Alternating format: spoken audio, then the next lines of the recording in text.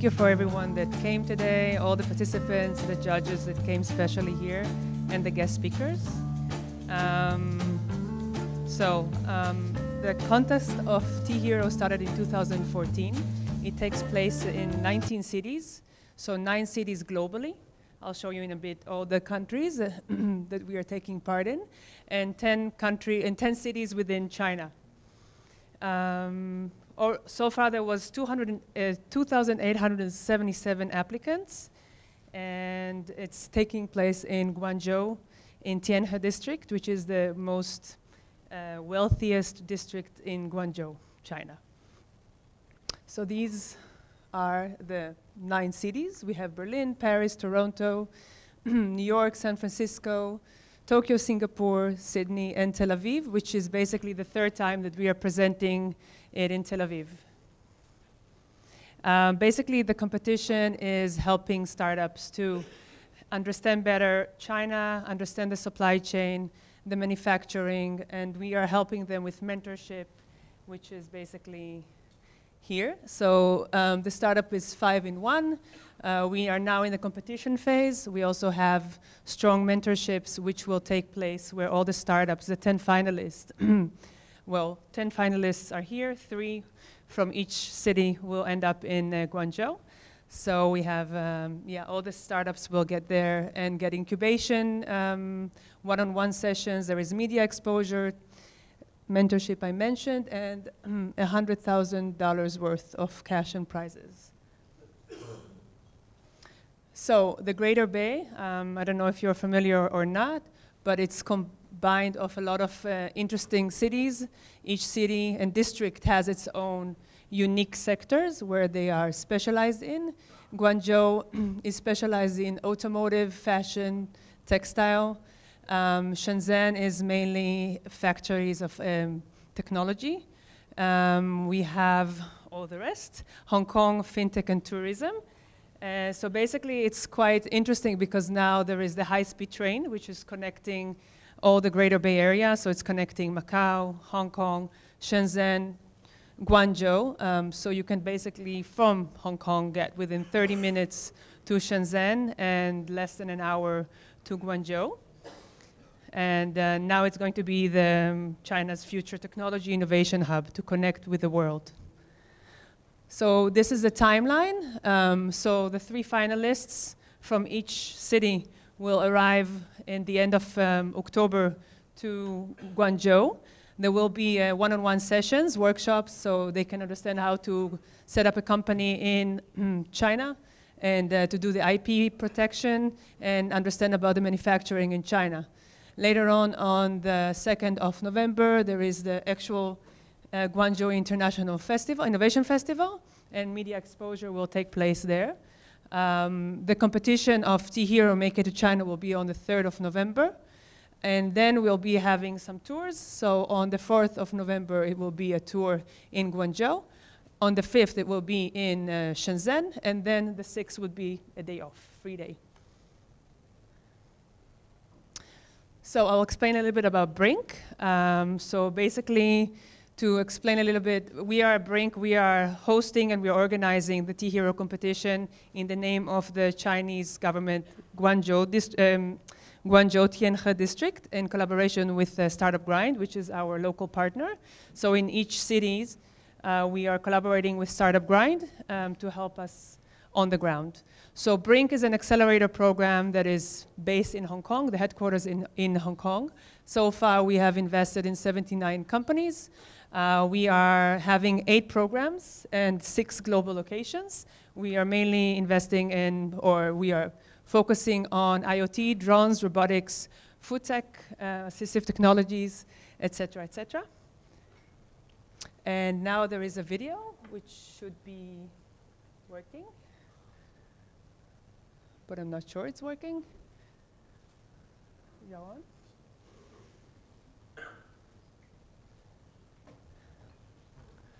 Mm hmm? I don't know. Uh, you need a permission. Mm -hmm. Sorry.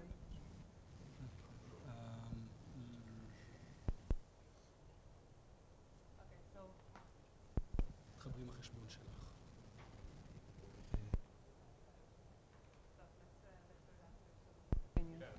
Can, okay. So now, should we go back to the presentation? Um, ירון, איפה אה, הפוז... כן, כן. מה? רגע, עשיתי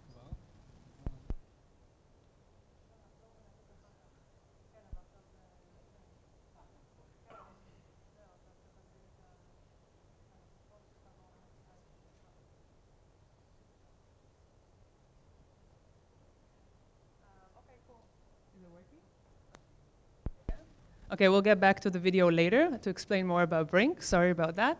Um, so now uh, let's uh, yeah invite Nir to talk about the presenting all the startups. Thank you. Thanks, Hila. Applause. For Hila. Thank you. Thanks, Hila. Wonderful. Good evening, everybody.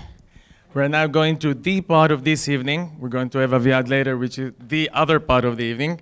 But now for the exciting part of the competition, we're going to hear now 10 pitches of 10 wonderful, exciting startups, which are going to present, each and every one of them will have three minutes for a pitch, and then two minutes for questions and answers from our judges. Okay, please, guys, we're going to have a very strict timeline, so please stay focused, stay tuned to what you have to say. We've got three minutes, okay, and we're starting, we will be announcing the three winners, like Hila explained, will be going to China soon. So let's begin with the first startup. Let me invite SenseGrass, which will be the first presenter. Mm -hmm.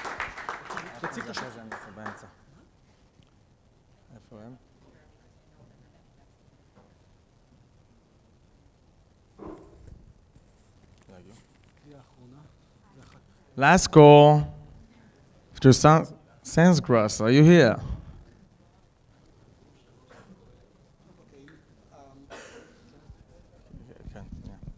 Okay, so if SenseGrass is not here, um, uh, we'll uh, go on to the next uh, startup, and if they come, then we will. Uh, by the time that our competition ends, then uh, we'll let them uh, present. Okay, so Let's see, the next one is Magan filtration. Guys, applause.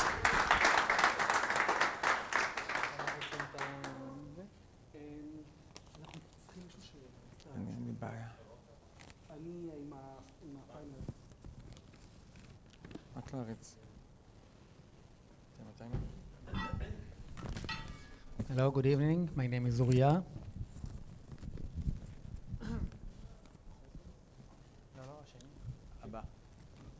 The second one. Magan. Ma-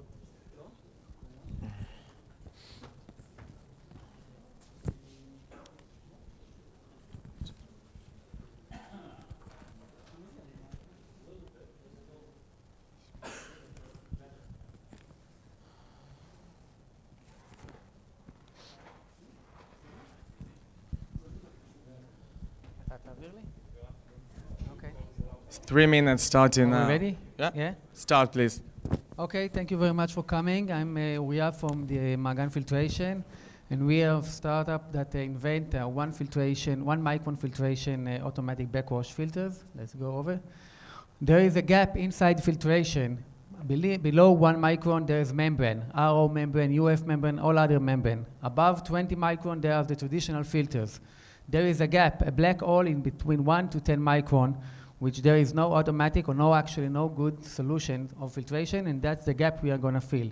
And we are also owner of a desalination plant, so we understand about water and we understand about what is to replace 1,000 cartridges every three weeks.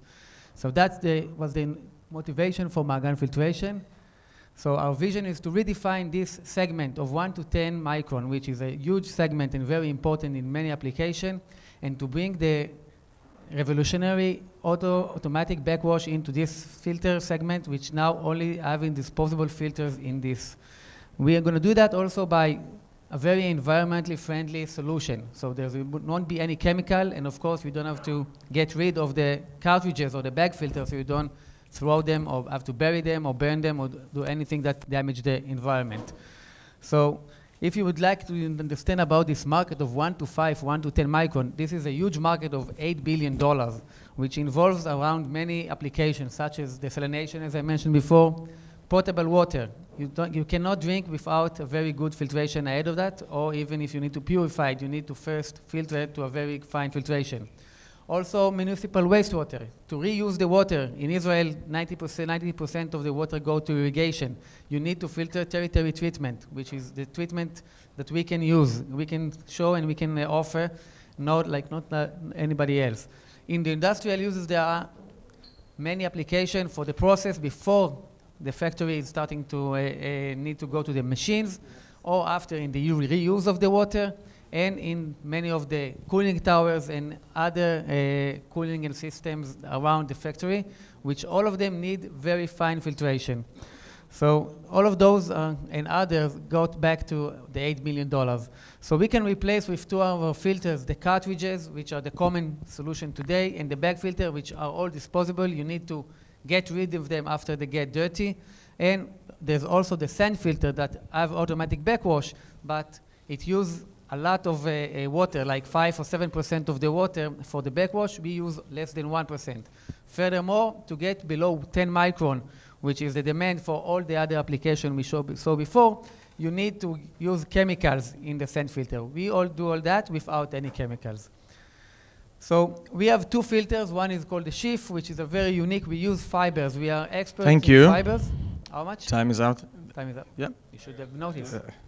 Just finished So, the We have two filters. One is called Schiff filter. The other you can go further on, called fiber disc filter for different capacities, also different way of method. Let's go further on. We have done a lot of pilots and proof of concept. In Singapore also, this one is a sample of one of the biggest uh, uh, desalination water in Singapore. So we have innovation in two, uh, two unique filters. We don't use any chemicals. We save all the maintenance, all the OPEX cost. And we are seeking for partner, strategic partner, to either m- help us with mass manufacture because we have already in the market, but we need to go to mass manufacture or marketing efforts. So if you have any questions, Thanks a lot. Thank you. First, guys, we have we they were the f- the first ones. Thank you. So, applause. Just please, just please, um, Yaron here for the next presenters. Yaron here is with with the stopper here, so you can, it tells you how much time you've got left. So please stay tuned to him. Uh, Exactly. So please pay attention to Yaron. Now we're going to turn to our four honorable judges, referees, but they are judges, which is Omri, Aviad, Roxanne, and Ila. So each one of you will have two minutes. If any of you have any questions to First of all, thank you so much. It's a fascinating idea. Um, just two questions. First of all, what's, uh, I mean, I didn't saw any slide about the team. So, I mean, you are by yourself or there is a team behind you. So, uh, I mean, if you're a founder or you have co-founders as well.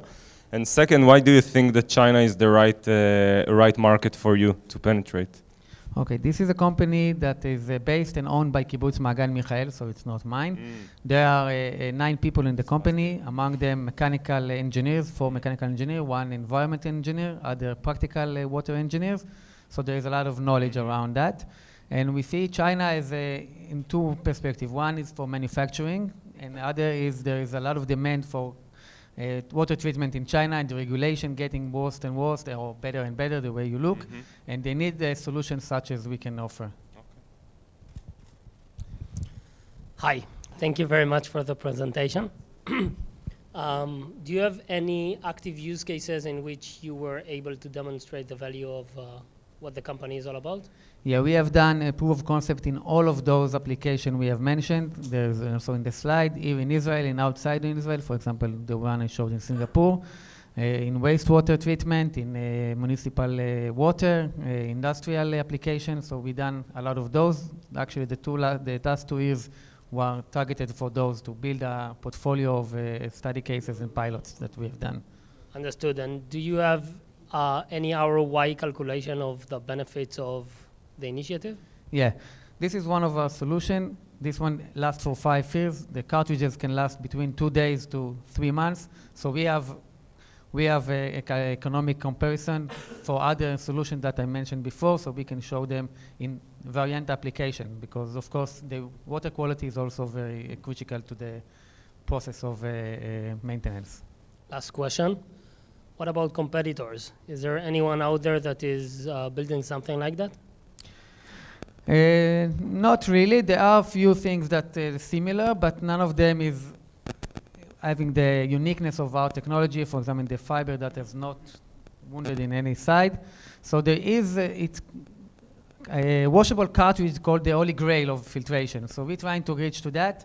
There are some things that connect to that, but nothing like us. Okay, thanks a lot. Thanks a Thank lot, guys. much, guys. Please applause. Good luck to everyone. Okay, thanks a lot for, for Magan. They were the first brave ones. So the next one is Dasmit. So please, let's hear it for them. And the one, next one after, get ready, is Leviathan Energy, okay? Good luck. Thank you.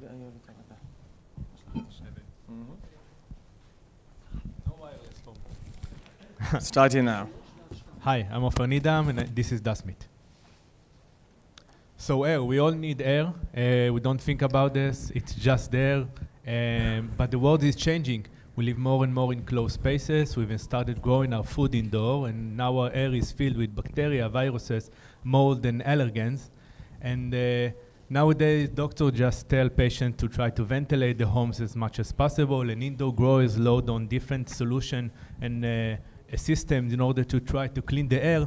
But current solution have uh, pricey filters and uh, produce byproducts and are simply ineffective. And it does me to have a revolutionary, highly scalable solution to clean all of these organisms without any of these problems.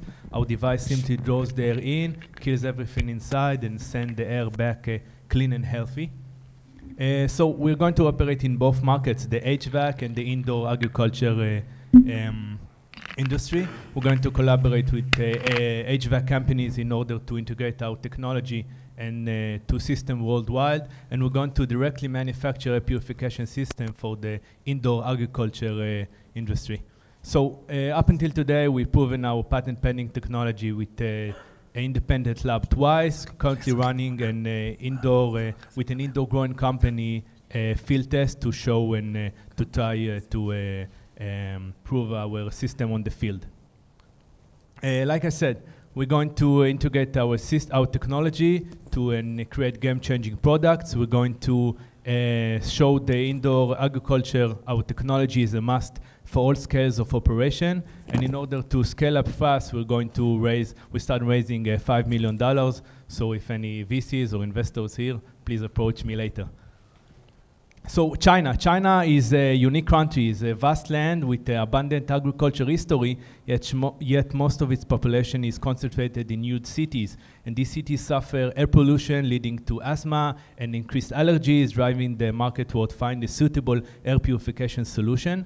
And uh, also, it invests time and money in developing an indoor uh, agriculture system to feed its future population. And all of this make China a prime target for us to develop strong ties and seek out uh, business opportunities. Thank you. Thanks a lot. Now, time for questions. Please.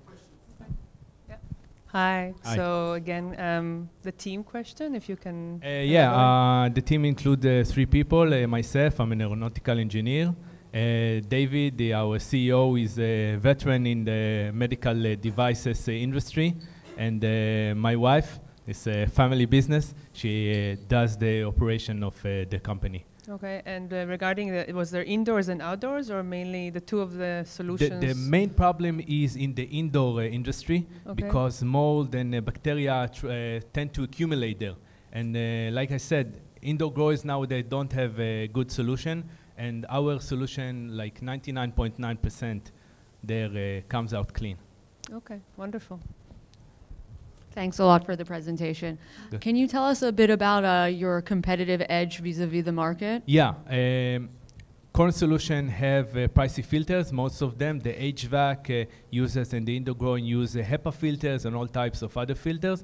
And those who don't use filter produce dangerous byproducts like ozone and uh, uh, like uh, particles, charged particles. We don't do any of this. We don't have any byproducts. Like I said, we simply take the air in, we turn it as it is with all the particles inside, the, but everything is just dead and ineffective.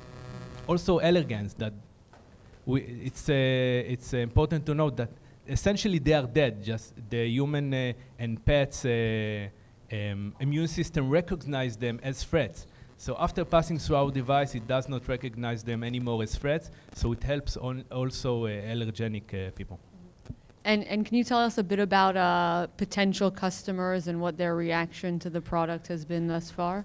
Yeah, uh, it's an interesting fact. We started in the medical devices and uh, we are drawn to the agriculture and indoor agriculture field by our customers. People approach us and ask them, ask us to come and uh, uh, do a field test with them with an indoor uh, growing company. They're developing uh, indoor uh, uh, growing systems, and they heard about our solution. They approached us, and that's how we learned about uh, the importance of that the device to indoor growers.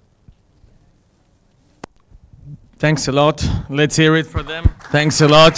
Sorry, I have the bad man's role here. Yeah, I'm, I have to cut in everybody. Okay.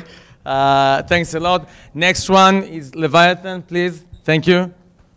Microphone is over there.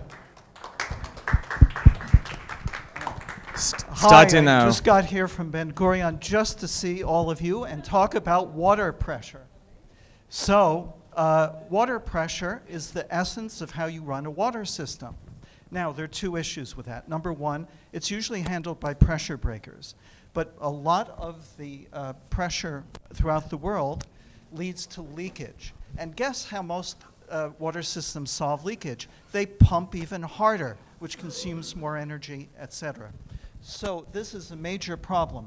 Water shortage is now like the oil shortage. The World Bank uh, has estimated around $14 billion a year is lost in uh, water that is lost through excess pumping. Okay. Next. So the solution is our turbine here. This is the old solution, a pressure breaker. It's a cost.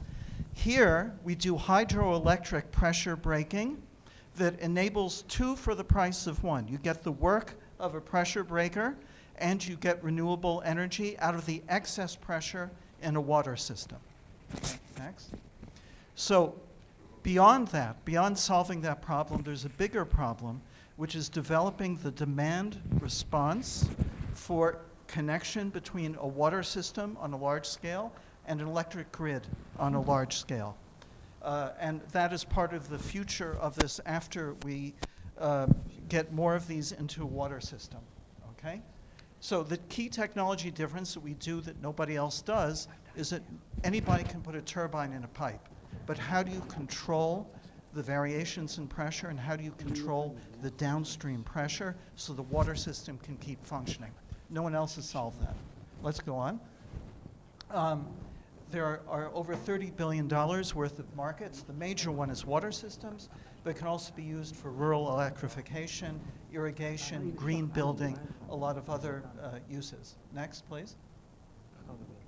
Uh, we've had experience, we've had installations in the Philippines with Mekorot in Israel, uh, a grant from the Israeli chief scientist. Next. Uh, we have a team. Uh, uh, I'm, uh, I've had many years and, and a lot, lot, of run awards in renewable energy. Aviel Sela is in the audience. He's an expert in cloud and mobility. so that that's, he's going to work on that part, on the software connections and also professor of mechanical engineering. Next. So what do we want from China? We want a place to do the uh, most updated uh, version and to find a place to build it in a place that's looking for water solutions and energy solutions. And the approach is to approach municipalities there. So that's it. We have a unique solution, large market, and we offer something that's important for the world, solving both the, partially, the energy and the water problem. Thank you. Thank you. Thanks a lot. Going to question, who is the first one to? Hi. Thank you very much for a wonderful presentation. Thank um, you. What's the ROI? I mean, what do I pay and what I get back? So in general, it w- let's say three years. Okay. S- In, in what sense? I get paid back by what? So let's say you have a 10 kilowatt project and it costs $2,500 per kilowatt hour. Uh, 8,760 hours in a year times 10 kilowatts, 87,000 kilowatts per year. And if the cost of electricity is 10 cents, it's a three year payback. Understood. Um, what about uh, competition? Do you have uh, anyone that is building something somewhat similar to that? Um, yes, um, uh, uh, there's nobody that comes close. Uh, there's a company called Lucid, which um, has put turbines in pipes. They have a horrible efficiency. They basically take a vertical axis lift type turbine and stick it in the water. And if uh, you look on their website, uh, they give examples of what they've done, but they, uh, they never tell you what their efficiency is. So if you figure it out obliquely, you see it's very low. Also, um, unfortunately, unfortunately, they're an American company that our crowd actually invested in instead of in mine, okay, which is Israeli, you know. But anyway, one of their board of directors came to me and he asked, you know, it's really not doing very well. We'd like to ask you if you could be the original equipment manufacturer for them and they'll sell your th- solution. But the other members of the board outvoted him. So uh, that's the best competition. That's what everyone asks me about. Thank you. Thanks a lot for your presentation. Can you tell us a bit about your business model? And uh, is it a one-time payment? Is it a recurring payment from customers? Both. If a municipality wants to buy, that's great. But I believe the best way to get onto the market and the best way to deal with governments is to be um, budget neutral for them. And that would mean to finance it for them. Uh, and by financing it, let's say we put it in for free, you get a pressure breaker, but we keep the value of the electricity. There are a lot of ways to work it out, but I think that's the, something like that is the best business model because it requires, uh, because it de-risks it for the customer, and it also means that they don't have to deal with their budget committees and so forth. Thanks a lot. Applause to Leviathan. Thank you. Thank you. Next startup is Lavatech. Applause, guys. Starting now. Hi, everyone. So uh, within the next uh, two decades, we will need 70% more food, which is quite a lot. Uh, very good news is that indoor farming industry is currently worth over 100 uh, billion dollars and is growing at 70% rate. Bad news is that it's extremely, extremely inefficient. And the highest cost is, comes from energy consumption, and 98% of the energy consumption is wasted into lighting. Yeah. So my name is Tatiana, and I'm the CEO and co-founder of Lavatech. At Lavatech, we have developed a combination of hardware and software, basically control unit and the software that helps to decrease energy consumption for the old lighting systems by up to 90% and for the LED light systems up to 75% without losing any efficiency. If we are talking about indoor farming, it means that we can also increase yield by up to 20%. That's what our pilots already show, but we believe we can shoot up to 40%. The uniqueness of our startup comes not only from the technology, but also from our business model. We are the only one on the market who is offering light as a service, which means we provide access to the hardware, software, and database of the optimal growing conditions based on a monthly fee and the size of the facility. I have quite an outstanding team. There are 12 of us who is working full-time, four PhDs on board. We, for example, our CFO has been CFO to the company who has been generating close to 1 billion in revenues. Our head of sales has been leading sales for Tesla in Finland uh, for several years. Uh, I have two technical co-founders, each of 20 years of experience in chemical and electrical engineering, and then one more business co-founder with over 12 years of experience in B2B marketing for hardware startups.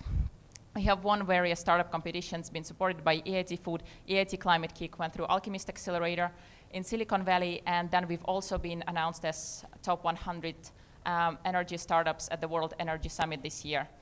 Um, why we are going to China? Firstly, we are still partly hardware, so we need to produce hardware, and we are looking for hardware production in China. We are actually already in contact with manufacturers, but I would want to have a closer contact. And then secondly, um, we are close to closing the round, and Uh, one of the people who are investing into our round is the co-founder of Tesla.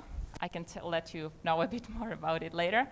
Um, and yes, basically, uh, the other thing we want in China is not only production, but also distribution partners for Asian region. We have uh, uh, 13 pilot customers. We have 40 customers in the pipeline who are willing to pay for our product, but we are just not able, we are not able to supply at the moment because currently our production is in-house.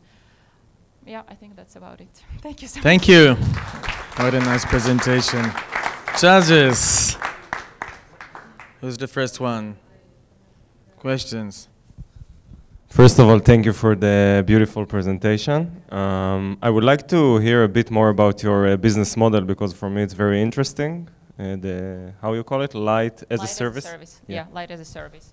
So uh, we basically take all the guesswork out of from the um, grower, or in future it can be basically a commercial building or street lighting. So we provide access, uh, we provide hardware, we provide installations, um, uh, we provide software and then access to the database, basically how to manipulate with the software so they don't need to figure it out on their own. Mm -hmm. um, if anything happens, we just take care of it. Yeah. Through the partners. We do not do it by our team members. Yeah. but of course, after you first put the system, so I mean, you don't have, I mean, so you get paid once or you get no, paid as monthly, it goes? It's a monthly payment. And what with the electricity? Yeah, I know. So That's what I'm trying yeah. to understand. So the, so the, uh, the facility starts saving basically from the first months. Mm -hmm. uh, mm-hmm. we've run various tests and like financial model, as, and with our pilots, it's already working. So basically, uh, they pay us monthly, but they save on electricity already more than they pay us from the first months. That's the beauty of the, this model, and also um, this is why it's a bit harder for us because we need to be quite financially stable to be able to provide that model. Thank you. It's very interesting. What's the manufacturing cost of all the equipment? Um, so uh, if we're talking about the uh, Grow LED light, currently it costs around $40 without uh, considering the workforce.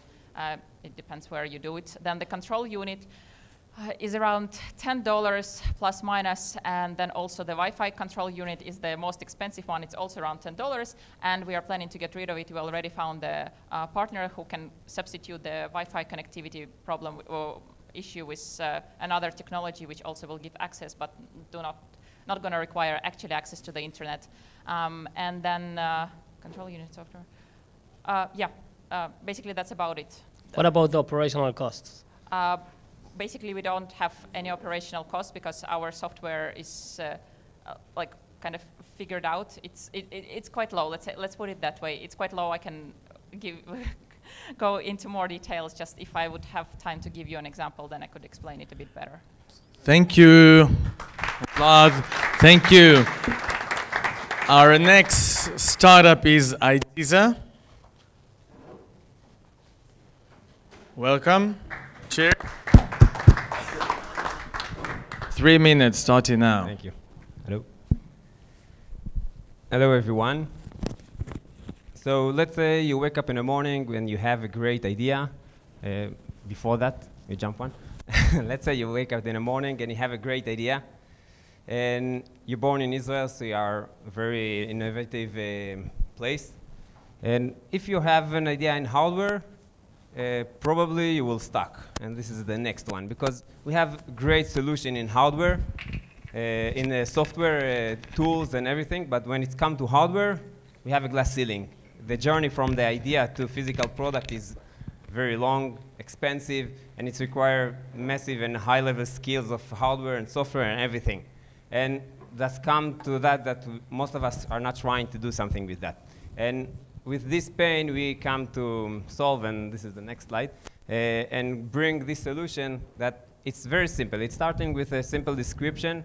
Uh, talk, think like uh, talking with uh, Siri or Alexa, describing your idea. We are using there then uh, um, NLP, natural language uh, processing. Uh, from there, we are taking the description and together with thousands of engineering rule and unique database technology and engineering database that we have that we uh, create, uh, we are generating a 3D simulation of your idea. And it's include all the layers. It's include the hardware, the software, and the cover you have there. At the end, if you, if you want, after you get the, the 3D model, you can modify everything if you are happy with that, you are going inside a marketplace. Uh, there you have manufacturer, all the manufacturer that you have that you want, patent attorney, cloud company, and more. So it's A to Z process for you, uh, fully automated. Uh, and this is the new world that we are opening, and uh, this is uh, the order, our, our uh, order to open this and give this opportunity to everyone, even if you, don't have this money, this uh, time, or the knowledge for that. Uh, and it's bringing that the, all the projects that didn't saw the sunlight before can come true now. We founded in 2017. from then, we have alpha version and beta version um, very strong uh, IP. We have uh, 100 uh, beta users, great success story from there.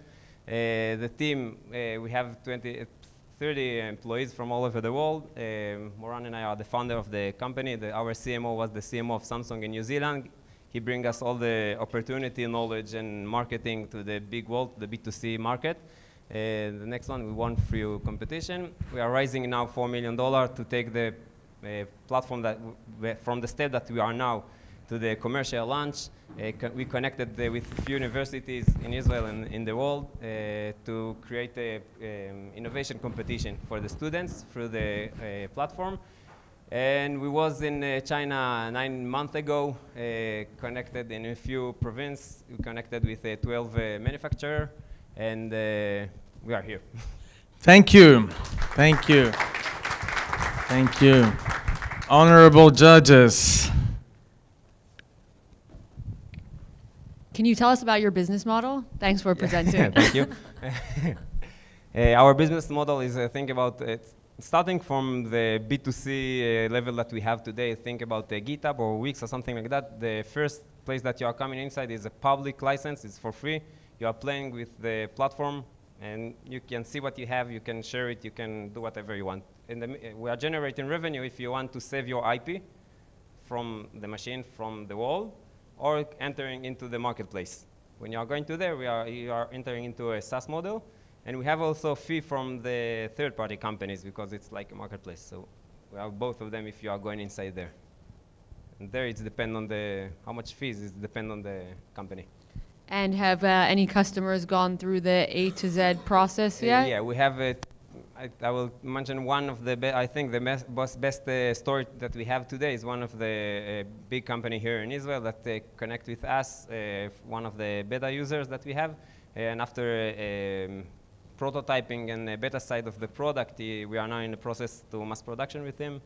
Um, again, the idea here is jumping on all the thousand of the years that I think we have here a lot of startup that, that can show it. This is my experience also that it's taking years to get the prototype. and you need all this experience and everything. And here you get, the, I will bring another story. One, uh, it's a serial entrepreneur. You don't have any engineering knowledge. He come with the IoT idea.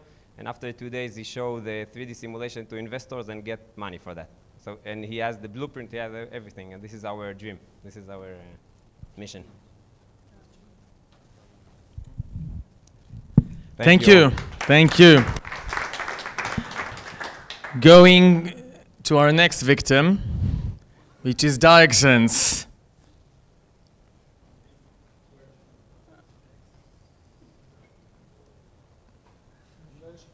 Applause.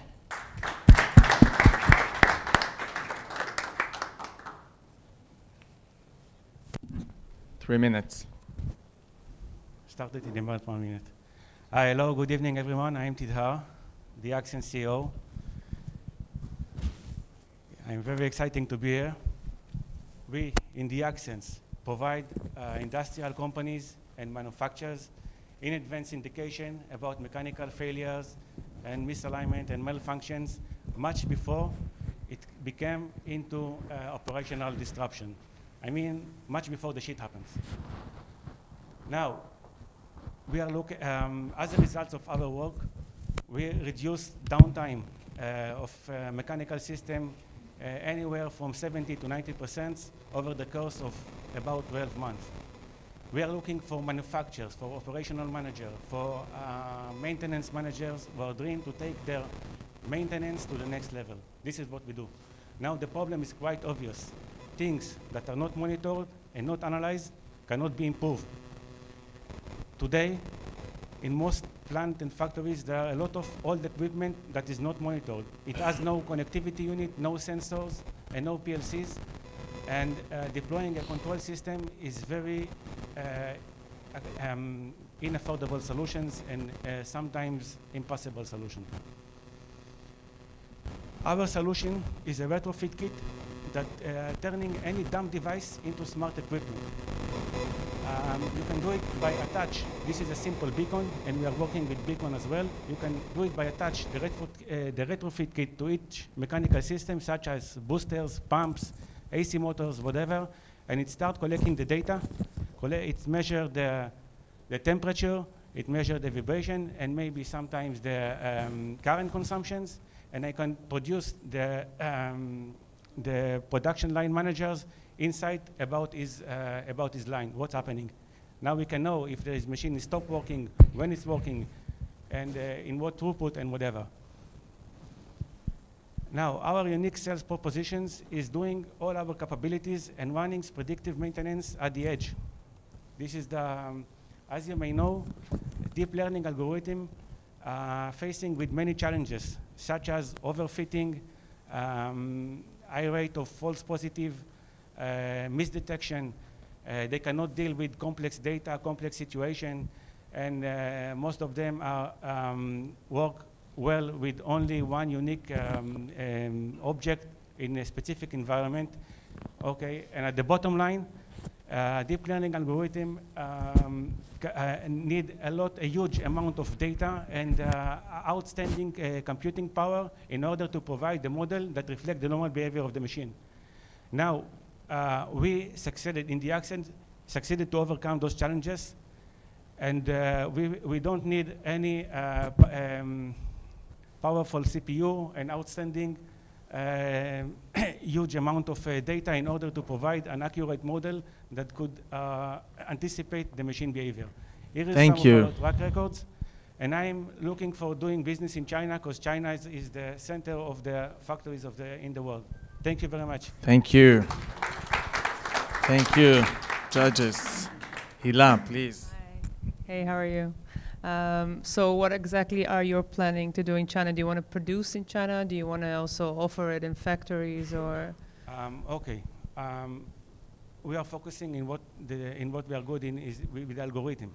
Okay, and I'm looking to do business in China because actually ch um, uh, Chinese manufacturers are looking for predictive maintenance solutions. And uh, by offering, um, it's also, let's say, light control system because offering uh, tools to monitor uh, old machines and provide them indication about what's happened with the machine. It's uh, uh, very useful, particularly in, in, in, China. Okay, they're looking for cheap and reliable solutions to measure and anticipate the machine behavior.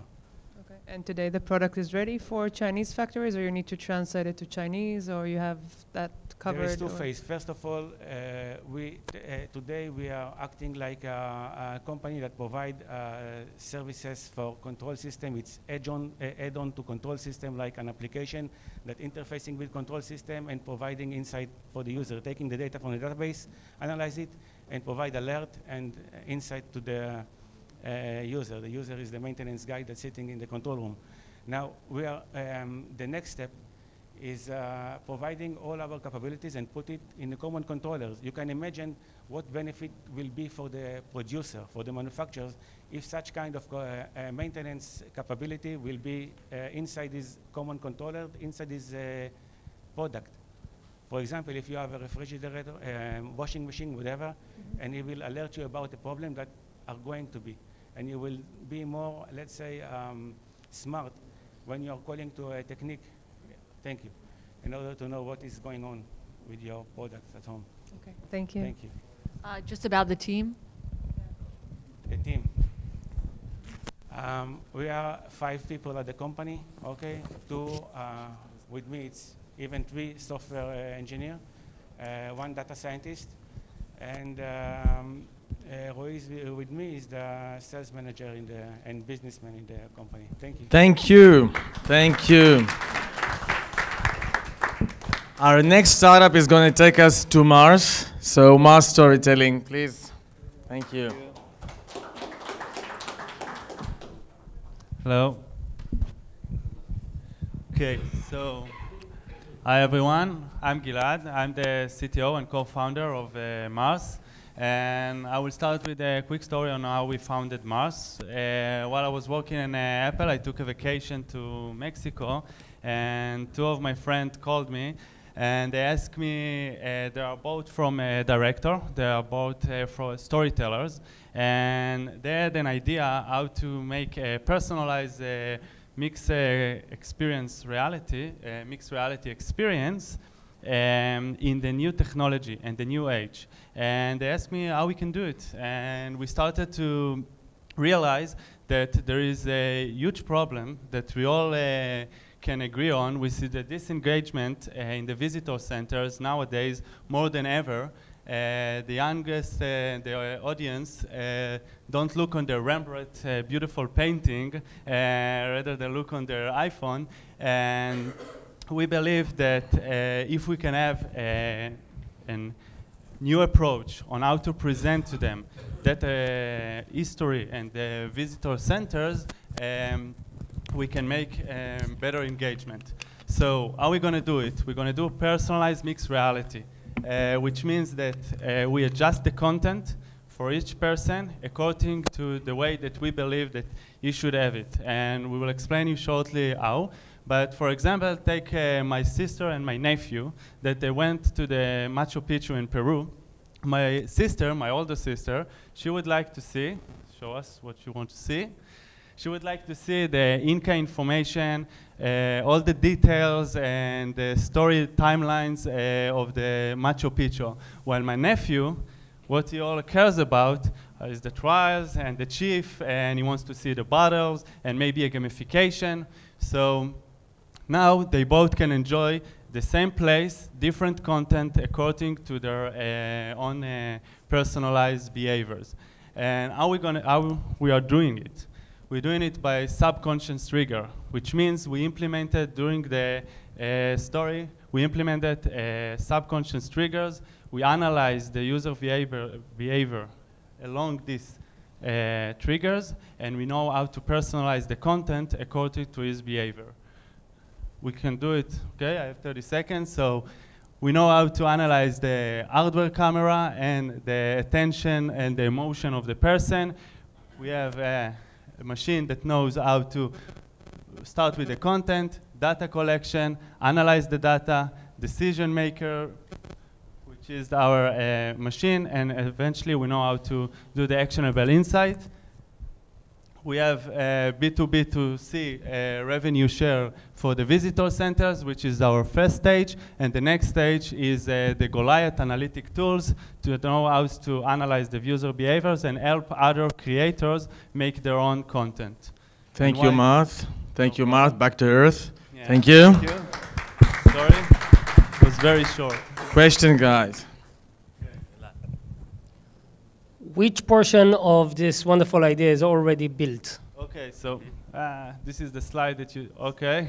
so the slide that we missed that uh, we already have uh, a full implemented idea in uh, Tower of David in Israel, in Jerusalem, one of the biggest visitor centers uh, in Israel. We have 500 uh, visitors a year and our machine is already uh, gathering and collecting the data and starting to analyze the user behavior and give them the personalization. So for example, we have a few stations. This is generally that we take the people over there. You should come and see it. And you take the iPad with the earplugs and you start going to a travel time with David, King David. and um, Along the experience, you have several uh, locations where in some of them you can get information. For example, if we believe that we are, you are a more informative person, and while your children can have gamification and start shooting uh, uh, plans or whatever.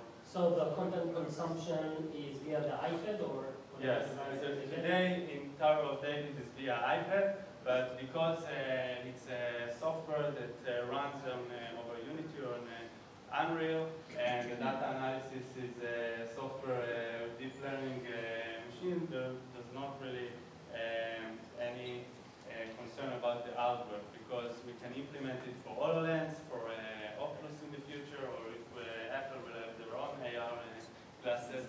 Last question. Yes. So the gravity of the technology is the data collection and the understanding what kind of uh, exactly. decision tree of content. Exactly. So the first stage is to to make the augmented reality experience because we know that we need to collect the data. Because we did the content, we had uh, the ability to implement subconscious triggers along this uh, content.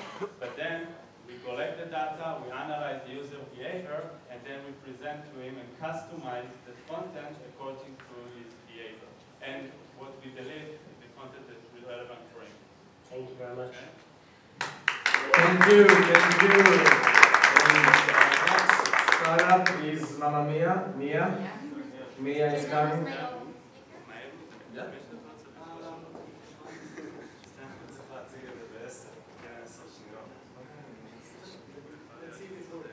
Good evening. My name is Lydia.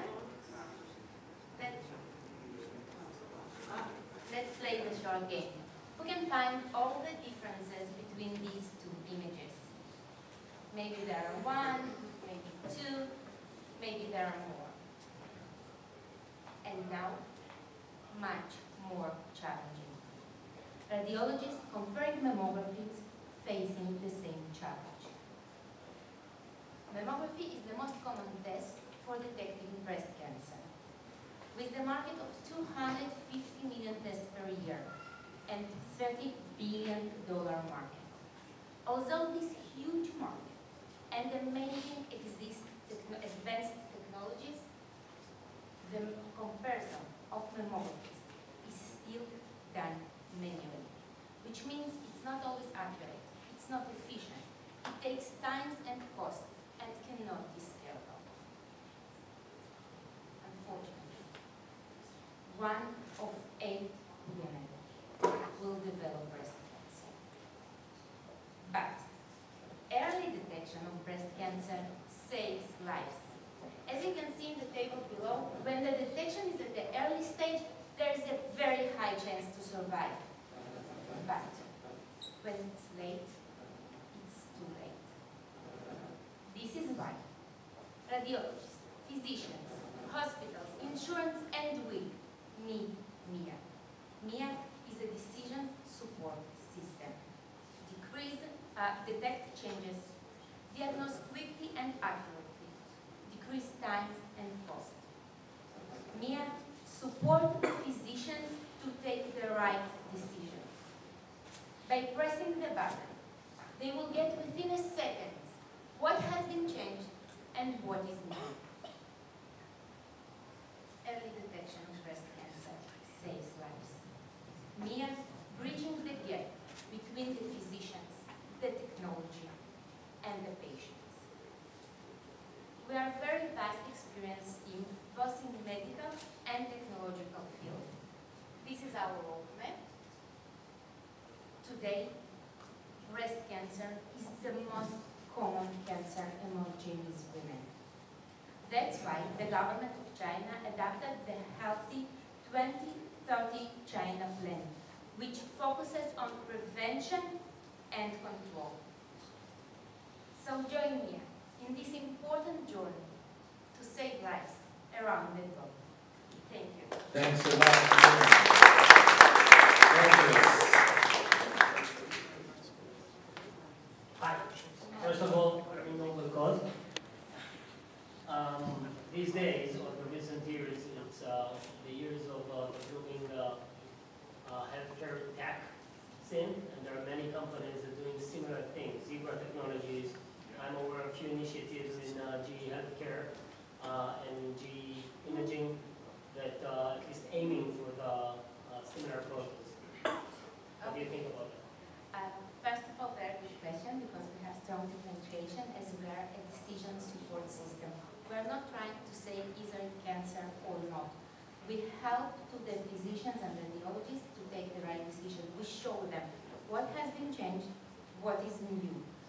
Our competitors, what they do, they try to say either cancer or not. We only a decision support system. Secondly, we have also an app for patients. We are platform, a platform also for the second opinion. One of the main issues we did a very um, diverse research all over the world, Europe, China, United States. We talked with a lot of radiologists, and one of the problems is the lack of time and lack of radiologists.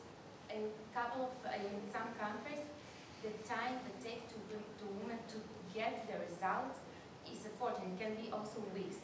So this is the first need. They need something that will help them not to miss the, the, the points, something that uh, change between the tests, and it's already bringing the value. Understood. Um, what's the cost of uh, building uh, the solution? All solution? Solution. Okay, so it depends. We are working on phases. Um, one of the main causes is, of course, uh, the images. We have cooperation with Sheba Hospital, one of top 10 hospitals all over the world. We have a lot of data from them, from HMOs. Now we have also um, in Europe, in China, collaboration for getting um, uh, the data. And uh, this how we decreased our costs. Um, I cannot say uh, exactly what will be the final price, but I think that uh, for POC we will need uh, between one and two million dollars. Until now we are bootstrapping and we already have these wonderful collaborations, uh, initiation of uh, algorithms, and very nice. Good luck. Thank you. So a noble cause indeed. I'm going to a noble one as well. Baby Air. Applause, guys.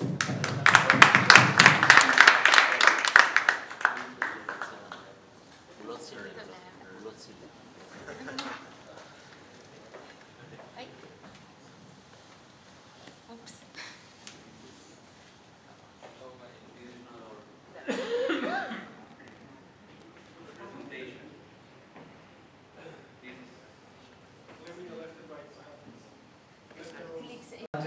Three minutes. Microphone is over there? No, it's okay. It's okay, you don't Yeah. Okay, starting now. Well, everything started with one big question. What is the most important thing for a woman? Or let me ask you again. What is the most important thing for a woman that just became a mother? There's absolutely nothing more important for a mother than the well-being of her child, of her baby. Probably you notice I'm not a mother, I'm not a father. However, one time, long time ago, I was a baby. And at 30% of kids, I suffered from respiratory problems. The solution my parents found was to give me an invasive and uncomfortable face mask. We are baby breath, and we are ending with child suffering during respiratory treatment. There is an enormous need. One out of three babies suffer from respiratory treatment, making uh, respiratory issues the most common chronic dis disorder during childhood. Just talking about the nebulizer market, it's worth over 870 million US dollars, which is which means an enormous market. So, what is the problem with current solutions? Current solutions, as I said before, they are invasive. They make children cry. They weren't made for, for children. They were made by adults for adults. There are procedures that takes 20 minutes that the parents need to see their children suffering, so they are stressed, the babies are stressed, and also one big problem there is that big amounts of medications are lost. So we came with a big solution. We present Baby Air. Baby Air is a unique nebulizer and food system that basically ends with all these big pain points. So what is the key advantages of our product? So the babies can be treated while they are sleeping, so they don't need to be awake. Currently, face masks, they need to be awake. Also, our product is inexpensive and simple, easy to use and transport, and there's no physical contact with the children. No one wants to see their children with a face mask. So, what are our achieve achievements? We have two granted patents on the US and the Euro European Union, but not only that, we have FDA approval, CE mark, we also have Eh, getting the ISO 9001 certificate. So this means that our efficiency is real. We are not talking about games. Also, we have made, the we received studies from leading scientific that prove that our product is better and the parents are more comfortable. Talking about our team, we have scientifics and our founders also have experience on business development. Really good experience. Actually, in our advisory board, we have a Nobel Prize winner that he will come on this Friday. So if anyone is interested to meeting one Nobel Prize winner of chemistry, please contact us after this ends, and uh, we will happy to hear. Thank you.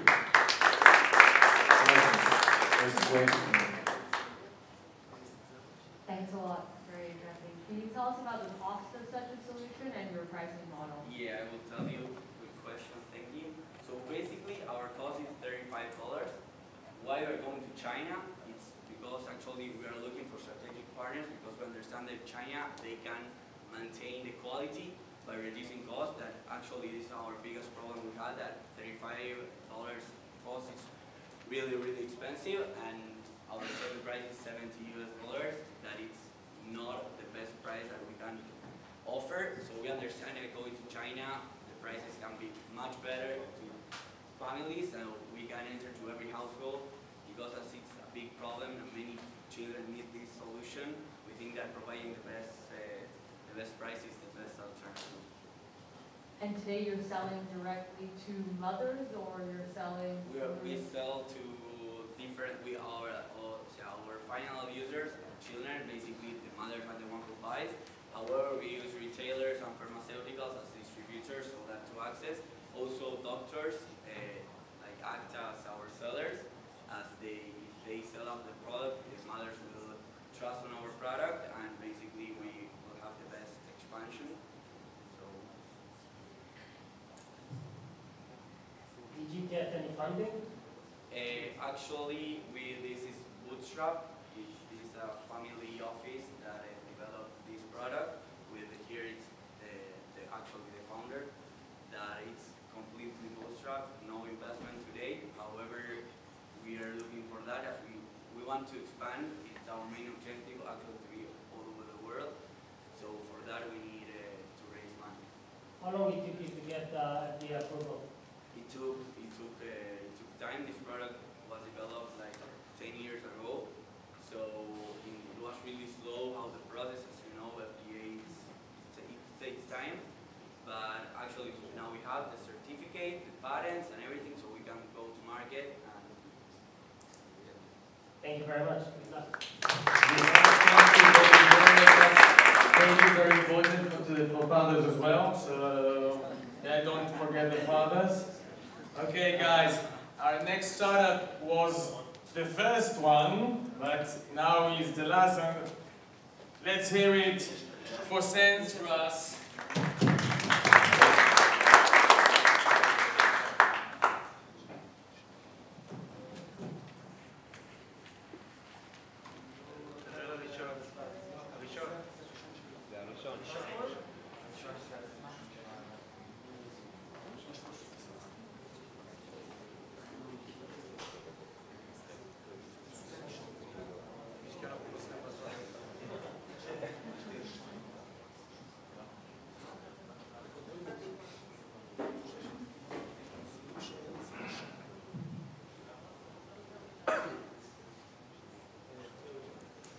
Hello everyone. Hi, this is Lalit Gautam. I'm founder and CEO of SenseGrass. We are making farming smart and intelligent. As per the World Food and Agriculture Association, almost one third of the uh, the soil already degraded because our farmers and the users are using a lot of fertilizer, pesticide. They're wasting a lot of water and they have no idea what's happening under the soil. So there is only one current solution in the available market for agriculture, which is the traditional soil health testing. So the farmers take the small part of some uh, soil, they go to the lab, and after a hectic process, they will get a certificate with eight parameters. But with the SenseGrass, we are solving one of the biggest agriculture problem of the micro soil data. We have three main components at SenseGrass. One is the NPK sensor, which measure almost uh, 18 to 20 parameters. So we are the most innovative hardware company at Tech who measure 18 to 20 parameters from one single hardware. Uh, if you can see, we also measure not just the fertilizer management, we also measure the carbon emissions, all these kind of gases, and including the soil absorption capacity, which which is going to tell you how much is the soil absorption capacity of the nutrients. So if you see the mobile app is an AI-based app which can give you the, all the details, overall the sense health of your agriculture, of your land, as well as your crop. This is, uh, again, if you talk about the impact and accuracy, we are almost 58% accurate in finding the soil absorption capacity and the fertilizer detection, which is more than 8% of the any other available solution in the market, which is the soil traditional method. The model is quite simple. We have uh, hardware which costs almost $800, which you can pay through the subscription. Uh, we have software which is $250, again, through the, you can pay through the subscription. And we have an agri consulting, which is AI-based personal agri consulting to the farmers and the users. Again, as I mentioned in the first slides, we are 360 degree solution. You can use our hardware, our solution, any part of the world, any part of the crop, and it's give you more than 20, 18 to 20 parameter in a single device. We already have a traction, more than 105 customers, including the company like Cargill, PepsiCo. We have a good monthly recurring revenue of 4,800. Next one. Next one. Uh, most trusted and recognized startup. Uh, we just finished one of the accelerator program in Technion in Haifa, and uh, we all, we almost raised 250k from HAX uh, and other hardware accelerator.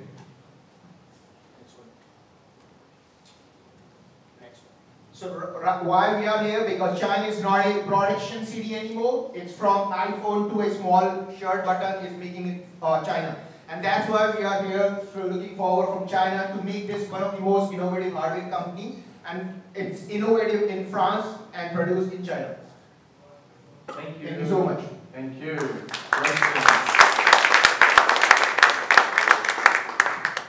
Fascinating. Um, I've no uh, gut feeling around agriculture, but uh, how you quantify the value of this technology? So we usually, uh, when we did the pilot and we, we, before we go into the market, we evaluate through the three competitive methods. The first is the soil, soil traditional method. We go to a standard demo farm. It's a one acre farm. We measure the same fertilizer from the soil traditional method, the traditional lab method. We take the another nearest competitor and then we do the comparison. Understood. And in that comparison, how much money would you save to the farmer? Uh, the farmers are like, they have very high expertise about farming. So if, for example, if they were getting uh, 100 kilograms of crop yield in one acre previously, and if they are getting 135, they don't need any technical tool to, you know, to justify your technology. So this, after almost like three big uh, uh, pilot, one in US, one in Europe, and one in India, we found out that the farmers are certified that they have like these kind of figures. So when we come up with a figure, this is certified by the government bodies and the farmers.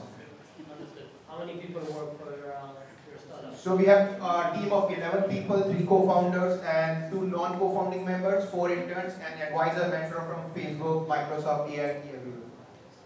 Very interesting. Thank you very much. Thank you so much.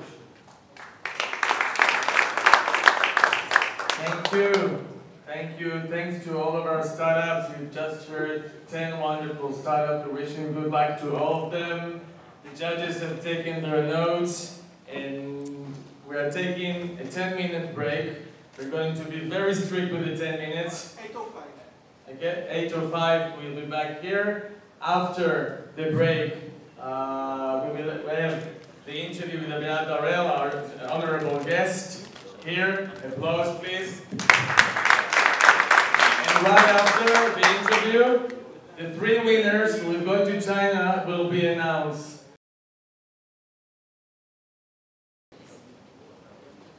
Okay, so this is this is Startup Grind Tel Aviv, and we are happy to have a fireside chat with Aviad Harell from Sisense. Applause, a round of applause. Aviad, thank you, thank you very much for coming. Sure, it was my pleasure.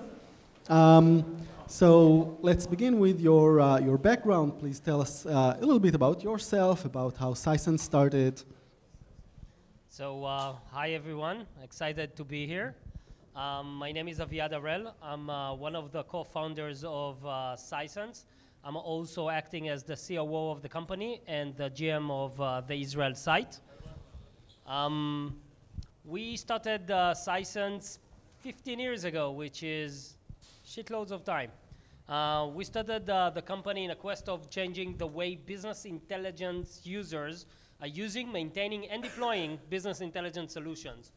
For those of you who don't know what uh, business intelligence is all about, business intelligence is um, the tools that allows people to connect to data and to gain insights into or from the data and to create or generate some value uh, from the data that they have. So this is basically business intelligence. Um, we started the company, again, as uh, I mentioned, 15 years ago, right out of uh, college from IDC. I met uh, uh, my friends. It's almost a typical um, uh, story, entrepreneurial story. We met in college. Um, and uh, we started the company at the last year of uh, college, or we at least thought of the idea. And uh, when we graduated, um, we started the company. Um, the, the claim for fame of our platform is the fact that our platform simplify complex data for um, business users. So the builders of the world, the, the analytical people that would like or need to connect to data um, without heavily being dependent on IT or developer can use our tool uh, to connect to data, uh, to pull data from different data sources, to mesh up data from different data sources all by themselves with um, uh, zero coding and zero scripting, um, mesh up the data, analyze the data, and distribute the insights to whomever they need in whatever channel that they need, either uh, alerts, dashboards, uh, text uh, messages, and so forth and so forth. Um, we are a global company. We have about 812 employees across the globe. Um, the Tel Aviv office is about 260 employees. Um, I just came back to Israel after six years in uh, New York. Uh, I moved to New York six, years ago to start the US entity of the company. Back then it was uh, only myself. Now we have in New York one, a little bit more than 160 employees. In Arizona we have about 70 employees.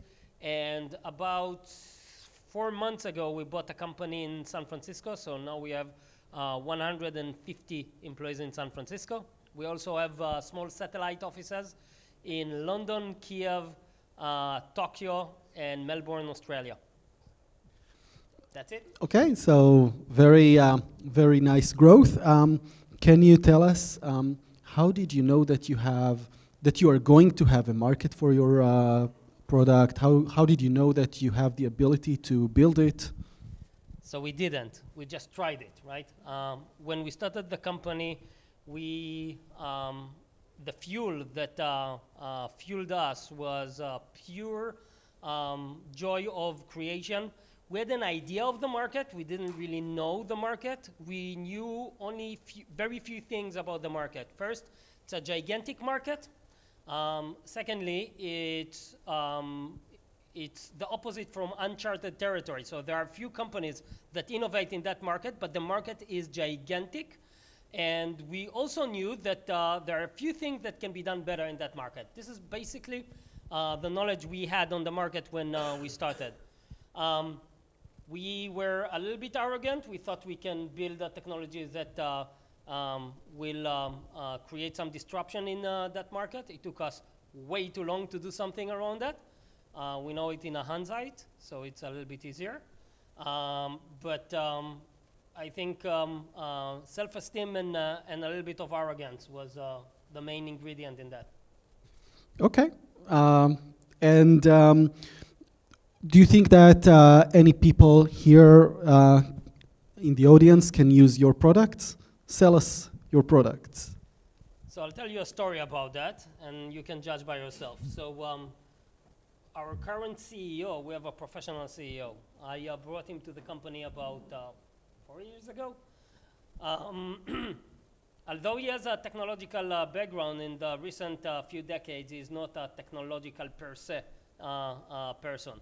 Um, so I thought it will be a good idea to teach him the product. It took me about two or three days to teach him how to operate the uh, product.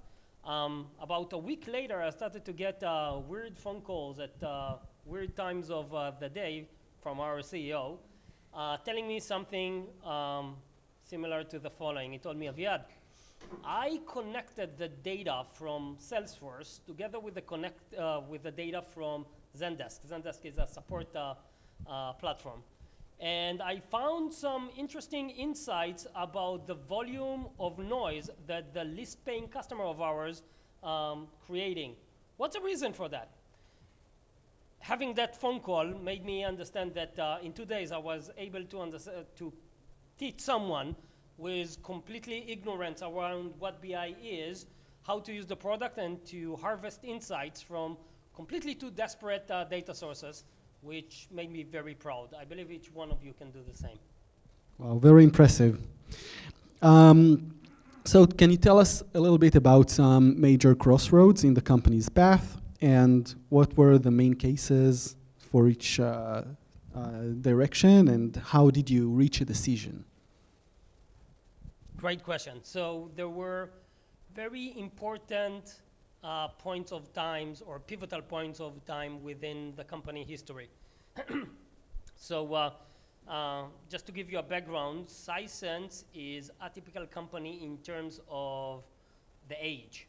Uh, we started the company in 2004. It's a long, long time ago. Um, and it's because of a reason. The first few years uh, were probably the most fun years or the most fun time in the company but probably we wasted most of that time, right?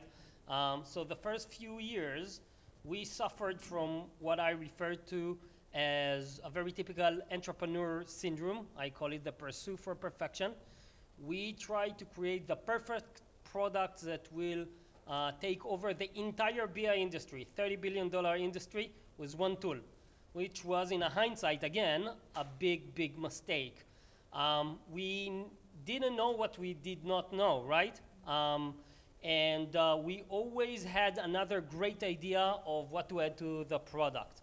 Um, and today I can tell you it was a big mistake. We wasted few years. We could have probably released the first version of the product few years earlier. And in the journey, in the life journey of a startup, a month is critical. So wasting few years is very, very critical. It was uh, very painful. Um, you know what uh, made us release eventually the product? Tell us. We ran out of money, um, which is a great enforcement uh, uh, to push the boundary of uh, what you can uh, do. But after releasing the product uh, to the market, we understood how much we did not understand about the market, about the product, what is the ideal product in that market, um, and it was a, a great um, real life university uh, for us, the founders. So this is one pivotal moment. So talk to your customers early, right? As early as you can. Right. Um, so you've grown well. What are your tips for healthy growth and for scale? So it's an amazing question because I think every two years the definition of a hyper growth company is changing, right? Uh, when we started to uh, double the company every year was uh, amazing. Now I see companies that uh, tripling the company uh, every year is not enough. So it's heavily depend on the market, on the atmosphere, the, the scene that uh, you exist in. Um, I'll tell you the following. Um, it depends a lot about the market. if you take a very crowded market, like Sisense, like, like we chose, uh, for Sisense, which is a very crowded uh, market, there is no place for small companies. Small companies will evaporate. Uh, so the growth factor is crucial.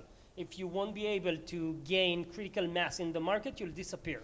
Somebody will, will eat you or will uh, uh, take all your uh, all the ground beneath your feet. So growing in a very crowded market is crucial. There are other markets that are not that crowded, and competitive. and the approach of uh, becoming or building more bootstrapped and self-sustained uh, startup makes more sense. There's no better or worse. It's a different thing, okay? So take that into consideration. Okay. Um, so you've grown really well, and I'm sure that you've had exit offers. Um, can you tell us about the decisions of taking them or rejecting them? So, without getting into too many details, I believe that every successful and hyper-growing company uh, creates some interest with other potential buyers. It's, it's a natural thing. Again, especially in a hyper, um, hyper big and very crowded uh, market. Um, just to give you an example, we're, uh, the Sisense story is the David and Goliath story, right? We're competing against Power BI by Microsoft. We're competing against uh, Tableau that were uh, uh, recently purchased by uh, Salesforce for uh, $14 billion. Um, we're competing against QlikView, $4 billion company. And, you know, the small startup from Tel Aviv that started small in Tel Aviv. Um, when you are able to overcome these challenges, it creates interest with other companies. Uh, I can tell you one thing. I believe that uh, the scenery or the atmosphere within the uh, technological uh, or technology scene uh, in Israel is changing or changed in the recent years. And the um, uh, creating the idea of building a company to sell it while it's still growing is still appealing, but there is also or bigger appealing concept with founders, and I see it with my communication with founders, other founders, and this is to uh, the idea of building a great independent company. And this is what uh, we're focused on in Sisense for the last decade. Like an Israeli Nokia equivalent, right? Like an Israeli Sisense. An Israeli Sisense, yes. Uh, that's, uh, that sounds well. Um, what will it require for uh, the state of Israel to have more Israeli Sisenses, uh, big uh, independent companies? It's a, a great question.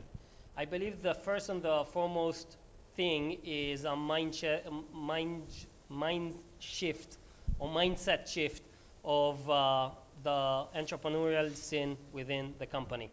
No more quick uh, exits, more focus on building great, innovative, global, independent, high-scale, high-growth uh, companies. Uh, it should be something that um, people have craving to build because without that, it's a very difficult and challenging journey, uh, almost impossible journey. And uh, only the people that uh, likes to operate in this kind of journeys, the impossible journeys, are best suited uh, to build these kinds of uh, companies, but they need to start with the willingness of going through that uh, this kind of uh, via rosa or the uphill constant constant uphill uh, battle when they're building uh, their companies. How do you build a company with a great? Um, how do you build an international company? So when, when, first, when do you decide that you need to expand internationally? That it's that it's time how do you do it? How do you uh, build a culture? Who do you send abroad, etc.? Again, a very uh, excellent question in my uh, mind. Uh, this is something we at Sisense struggled a lot. Um, there is the famous saying, at least famous to me, that uh, when you want to start a startup, start it in Israel. When you want to scale a startup, move to the States. Uh, there is there are few truth in that kind in that uh, sentence. Um, Israelis and the current culture in Israel, um, I'm not trying to include everyone, um, is to build quick and dirty and very innovative and creative solutions. Uh, the mindset and the culture within America or North America is how to build more repeatable, scalable processes and product. It's a different mindset, it's a different skill set. Different people can uh, uh, excel in each one of uh, these disciplines. Um, we started our global expansion about six years ago. I mentioned it earlier. Um, we decided that uh, we were able to track the first few customers out of uh, the States, very few uh, millions in recurring business. We were able to do that out of Tel Aviv, but we understood that there is a glass ceiling for that. It's not the language barrier, it's not the cultural barrier, but there is uh, nothing like having presence on the ground in the main market that you try to uh, win. so about six years ago, um, I'm, uh, I was the founder that the rest of the founders decided to exile to New York. Uh, so I took one for the team and I moved to New York.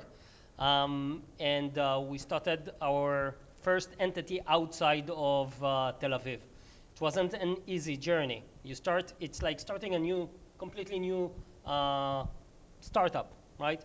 From finding a space, uh, buying the, the, the, the, chairs, the tables. Uh, my first recruit was the office admin. I hired the first office admin to help me. Then I started uh, focusing on hiring very talented, capable sales executives, which was a big failure. Okay? Why is that? It's a different skill set to build an organization from, from scratch rather than take, taking an organization that already operates and scale it. Completely different uh, skill set. I learned it in the hard way, right? I hired people that knows how to scale um, uh, organizations and uh, processes uh, versus finding people that knows how to build sales organization from scratch. So it took us some time, but uh, we were able to find the first uh, VP of sales in uh, North America that was the right kind of persona with the right kind of skill set to build the team. And if you refer to the culture, this is a different, completely big challenge, mostly for Israeli companies.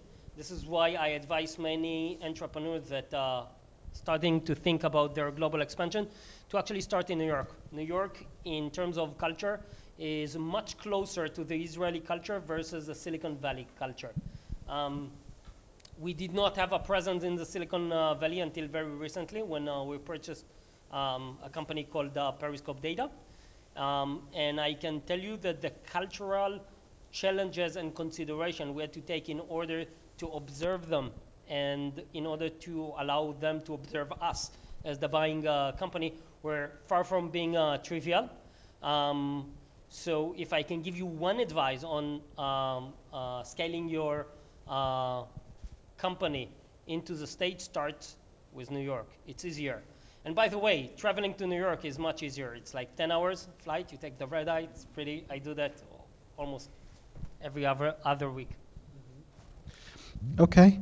Um, if, you, if we've uh, discussed the differences between uh, uh, cultures, what about uh, some uh, maybe things that Israeli startups tend not to do as well as uh, in other places? So things that Israeli startups generally could improve on. So many things, and I'll talk about myself. When I moved to the States, I saw it was um, like a mirror to my face of the, um, I'm going to use a Hebrew word, so sorry for that. I'm not sure I know how to translate it.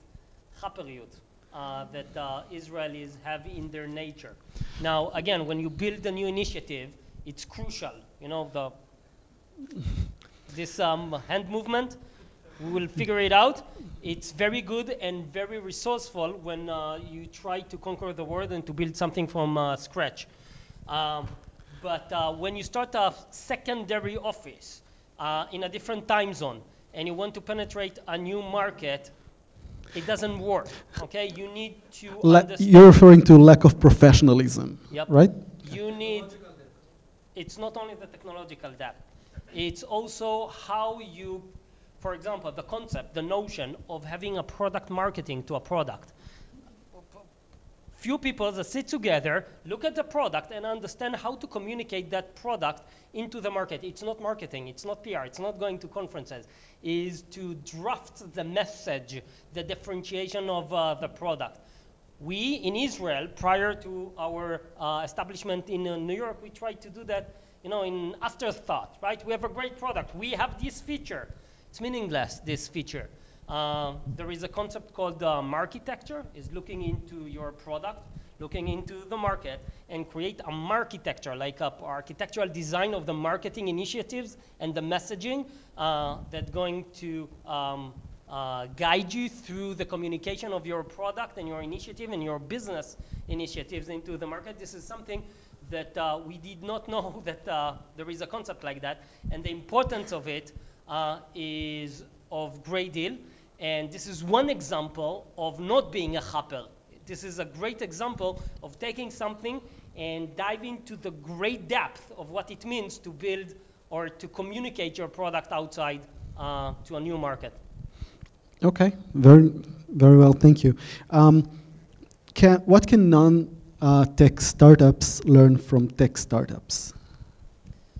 So I think uh, one thing that um, maybe I'm not objective because uh, uh, I have an analytical uh, company, uh, but uh, being data driven, I know it's almost a cliche uh, these days, but being truly a data driven company and take decision that as much as possible, you cannot always, but as much as possible, based on data, is of gigantic value to every growing startup. With technology companies, it's easier to collect the data because it's um, uh, digital software, right? So you can collect the data easier. With non-technical uh, uh, startup, it might be a little bit harder, but it's worth the effort in making sure that you will be able to collect the data, analyze the data, and make some sense in the data that will allow you to understand how to grow. I want to push back a little bit on this one.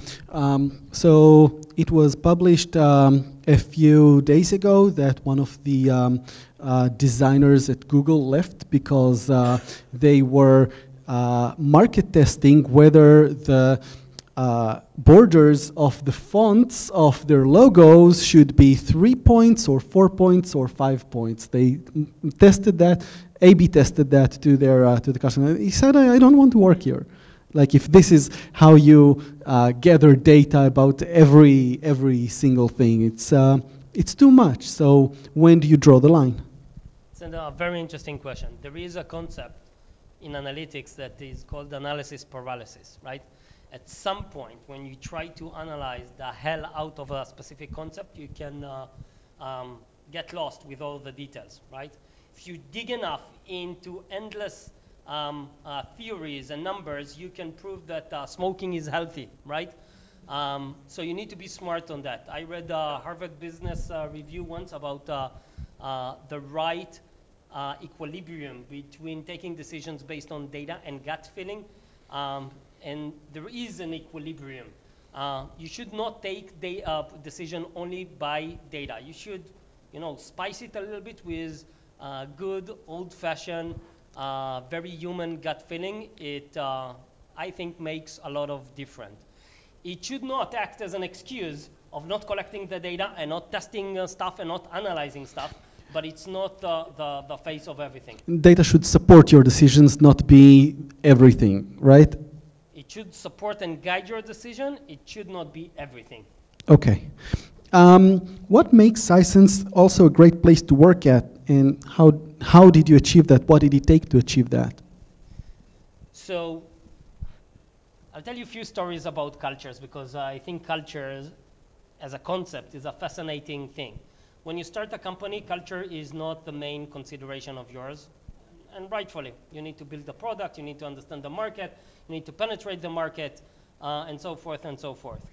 But uh, at some point, at some uh, uh scale, culture becomes the glue that uh, uh, keeps the people together. And then you find yourself investing a lot of time, and large portion of my time goes to cultural related challenges or questions, right? I'll give you one example that I've learned recently from the company we uh, bought in uh, the Silicon Valley. So the company we bought in the Silicon Valley, uh, the name is Periscope Data. It's about 150 employees there. One of the biggest challenges in Silicon Valley that in Tel Aviv becomes a little bit uh, similar to that is the talent pool, right? Uh, engineers in Silicon Valley eh, or hiring engineers in Silicon Valley is a big, big challenge because of multiple reasons. First, um, the, the recent generation or the millennial generation of uh, developers in Silicon Valley has a specific kind of culture. Okay, we can talk about it. Um, but uh, secondly, there is a lot of demand, incredible demand for developers. A developer in the, in the San Francisco office of Sisense, when he sneezes, he gets a job offer from one company across the block. uh, with 40% increase in uh, the current comp that uh, uh, he gets. This is almost impossible market to operate in, and this is a big challenge. And you need to find techniques how to deal or to operate in that uh, market. Periscope did something very, very, very smart, I think. They bet on culture, and I'll explain. Um, they took two concepts of their culture, inclusiveness, or being inclusive, and being kind, that for us Israelis sounds a little bit uh, uh, corny, but they took it to the extreme, okay? They, they tried to build the most inclusive and kind company in the Silicon Valley, not because they really want to be the kindest company in the, in the Silicon Valley or the most inclusive company in the Silicon Valley. This is, was their strategy, the, the ace in the sleeve of how to recruit and hire specific people. How to attract and maintain people. Exactly. So the strategy was that if they will find an engineer that cares deeply about inclusiveness and being kindness, he will prefer to work for them instead of working for Uber in 20% increase of uh, salary. And as a result from that, when I looked or when we did the due diligence uh, to buy that company, we found out an engineering team with 51% females in the engineering team. We found a company with 60% of their executive people are females, and they worked very hard to achieve that. And it created some kind of a culture that females engineers specifically prefer to work for Periscope data rather than working in Google. Why? Because they feel better to work for that kind of organization. So again, not they created or they double bet on that culture, not because they wanted to be so inclusive or specifically they cared about that. They do care about that, but this is not the main reason.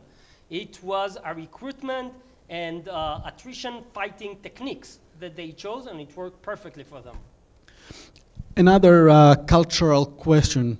Um, what will get uh, someone, a worker at Sisense, fired that might not get them fired elsewhere? What will get them promoted or um, uh, given uh, a, a raise that might not work somewhere else? So I don't know about other places. I can uh, advocate about Sisense. So there are many things that I and the entire company looks in candidates when we recruit them. And I won't talk about it because it's almost obvious. I will talk about what we do not look in candidates or what we want to avoid with candidates. What are the red lines? So we have two main red lines that again sounds very obvious, but you will be surprised how many companies do not uh, invest in that. We do not hire assholes. I don't want any assholes in the company. And uh, we do not hire stupid people. Uh, so these are the two red lines. Um, what makes employees successful in Sisense? Again, this is very Sisense objective, right? I, I, really don't know about other companies, but uh, with Sisense, it is, and it always was, an uphill battle. It's never easy to work for Sisense, never. Nobody in Sisense, none, will uh, describe their experience in Sisense as easy peasy. Just came to work and it was easy for them maybe other founders are smarter than me and build easier companies to build, but with Sisense, it's always um, uphill battle. And as a result from that, the most recognized employees are the ones that knows how to operate in uphill battle with joyment, with a, with a smile on their face. They come to the office, they know it's going to be a, a crazy hard day, uh, and they come to the fight with sheer pleasure and uh, fight pleasure and uh, uh, craving to be a winner. This is what we recognize in Sisense. Very nice.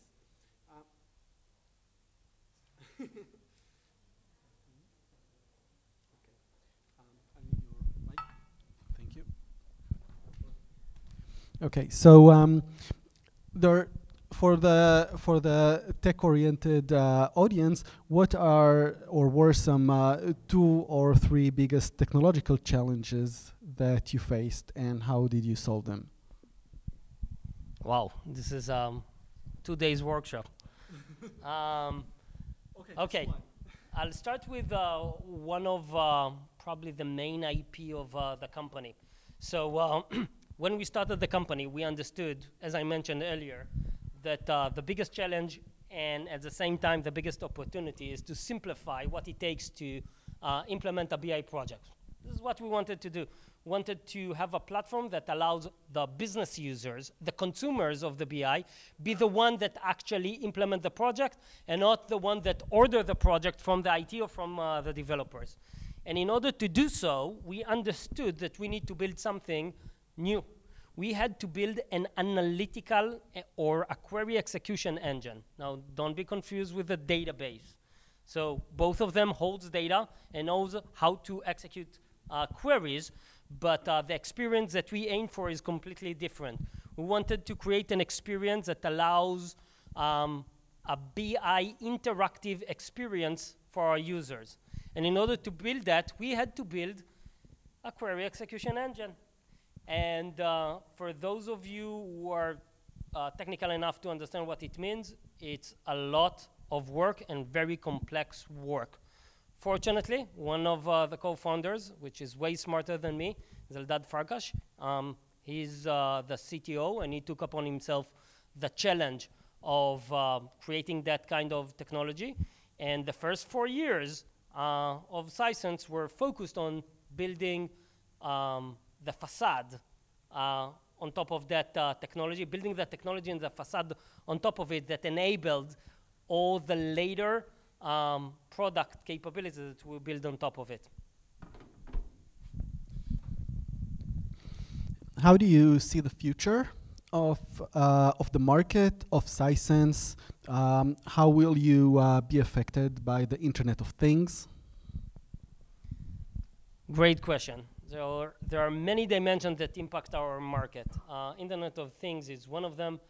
Fortunately, uh, the BI market or the analytics market or the data uh, related market is only growing. Data is the new oil. We heard it today, I think, uh, and it's true. Today, more than ever, every um, teenager can create an app that uh, uh, generates hundreds of millions of records in logs or whatever kind of information that you can think of. So the need for data, the importance of being able to collect data, analyze data, and find or um, uh, mine uh, insights in data is only growing. In that regard, I have um, um, full um, encouragement from uh, the trajectory of uh, the market. That being said, it's very crowded market because what I've said, uh, and um, participating in a game in such a crowded market, it has a lot of opportunity, but a lot of challenges. As I mentioned earlier, the David and Goliath game. But it also means uh, two things. First, there is always a place for a niche. Now, a niche in a $40 billion market can be $3 billion uh, niche, which is a gigantic niche. And secondly, if you take the um, uh, cars industry, you have Mazda, you have Honda, both of them making shitloads of money. Um, this is the benefits of working in gigantic uh, uh, markets. Simplify BI solutions, for example. So BI solutions that are not aimed for IT departments or developers. For example, this is one niche. Um, embedded analytics, meaning building a platform that uh, the, the consumers are not people that use a platform for analyzing the operational aspect of the company, but embedded into their product. They creating or they want to build analytical capabilities to their product. It's another niche. Um, other niches are endless, the vertical niches. Analytical in healthcare, analytical uh, analytics in um, HR, which is booming in the recent years. So it, I just gave you an example of multiple um, uh, niches. There are many companies uh, in the market. Each one of them choose a niche, or most of them choose a niche. We, the, the flavor of the company or the claim for fame of Sisense is not a vertical. We build a, a development platform for business uh, intelligence, but for people that do not know how to code or do not want to code. So low code, no code um, market in the BI. And lastly, if you want to have a solution, one of uh, the things that I really like is early in the process when we were able to crystallize the go-to-market and the added value of the uh, product, we created a very unique way to POC our product or to enable our customers to POC our product. And we had a very famous uh, claim that uh, became uh, very uh, noticeable and associated with Sisense.